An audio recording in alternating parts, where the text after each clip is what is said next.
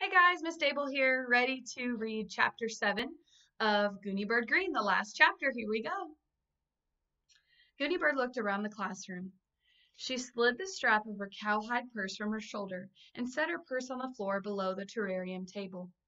With her face scrunched up into a quiet, thinking expression, she unbuttoned her orange fur jacket and hung it on the back of her chair by her desk. Then she returned to the front of the room and faced the class. She was wearing a blue plaid skirt, a white blouse, black tights, and brown lace-up shoes. There were bright blue ribbons in her neatly brushed hair. She looked ordinary. Do you guys know what ordinary means? Ordinary means she looked the same as everybody else. She looked plain.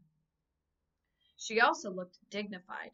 And she looked wise. Wise means very smart. Out there, invisible, are lots of stories that are not yet told, Gooney Bird told the class. Absolutely true ones? Beanie asked. Yes, absolutely true ones. What are they? asked Beanie. Do you remember how my first story was called How Gooney Bird Got Her Name? Gooney Bird asked. Yes, Beanie replied. Well, another story is called How Beanie Got Her Name. Well, before I was born, Beanie said, laughing, there was a thing called an ultrasound that showed me curled up inside my mom. And it looked and I looked just like a bean. My mom said lima -a bean, and my dad said, no, jelly bean. And so that's a fine story beginning, Gooney Bird said. An absolutely true one. You should tell that one on Friday, Beanie. What other invisible stories are out there? Miss Pidgeon asked. Do you remember how my second story was about how I came from China on a flying carpet? Oh my, yes, Miss Pidgeon said. I had to look up China in the atlas. Remember, friends, an atlas is a big book of maps. Out there, invisible and waiting, is a story called. Let me think. She closed her eyes. Is that the title? Let me think? Malcolm asked. No, Gooney Bird opened her eyes. There's a story called How Keiko's Family Came to Water Tower. Keiko smiled. Well, they started out on a ship, she said. First, my grandmother and my grandfather got onto a big ship in Yokohama and then went to Honolulu. They were a little scared because they had never been to America before. Miss Pidgeon, you should get the atlas out. Miss Pidgeon smiled. I will. When you tell that story, Keiko, Maybe next Wednesday? Okay, Keiko said. I'll bring some pictures. How about if I wear a kimono? That wouldn't be distracting like whiskers, would it? That would be lovely, Gooney said. And maybe I could carry a fan and a parasol? Gooney said gently, That would be a little like whiskers, Keiko. Overdoing it, Keiko said. Overdoing it, Gooney said. What about me? asked Barry. Do I have a story? Of course you do, Gooney told him. You have a story called How Barry Got His Name or How Barry's Family Came to Water Tower. Barry grinned. Which one should I which one should I tell? he asked. Do you remember my third story was about my diamond earrings? Barry nodded. My suggestion is that when it's your turn, Barry, you should tell an absolutely true story called When Barry Spent Every Penny He Had on Something He Wanted Really Badly. The class waited and watched Barry Tuckerman as he squinched his face up thinking. And then he grinned. Okay, he said, I'll tell it, but it's really, really gross. Oh no, said Keiko, I hate gross. You can cover your ears for Barry's story, Gooney told her. Wear earmuffs that day. Green ones I think would go nicely with your red sweater, I think. Who else? What else? The class called. My fourth story was called How Gooney Bird Directed an Orchestra.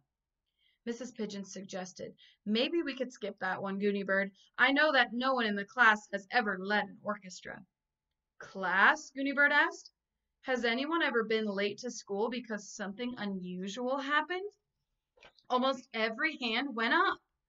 Malcolm, Gooney Bird said, maybe that could be your assignment.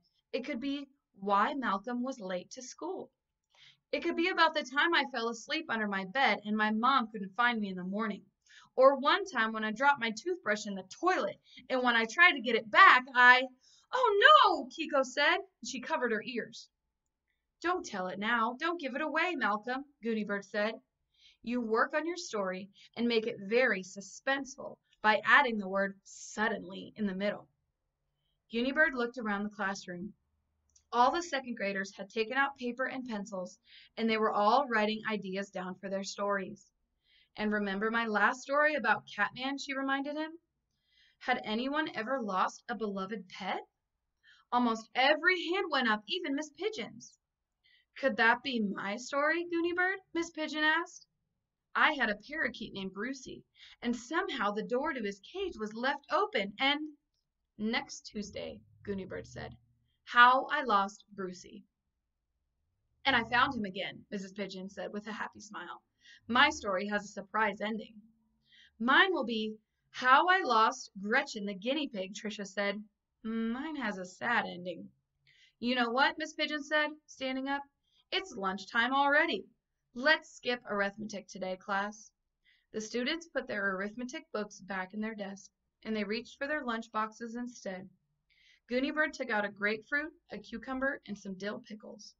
I'm having a completely vegetarian day today, she explained. But look at this dessert for the whole class. She held up a bulky paper bag. What is it? the children asked. Gooney Bird grinned. Sixty-three gumballs, she said. And after I give them out, I'm going to teach you all a wonderful twirling dance called the Tarantella. Suddenly, Felicia Ann looked up from the floor. Shouldn't we all hug and kiss first? she said.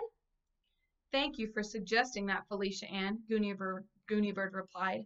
Of course we should. And so they did. The end. I hope you guys really enjoyed that book. I loved reading it to you.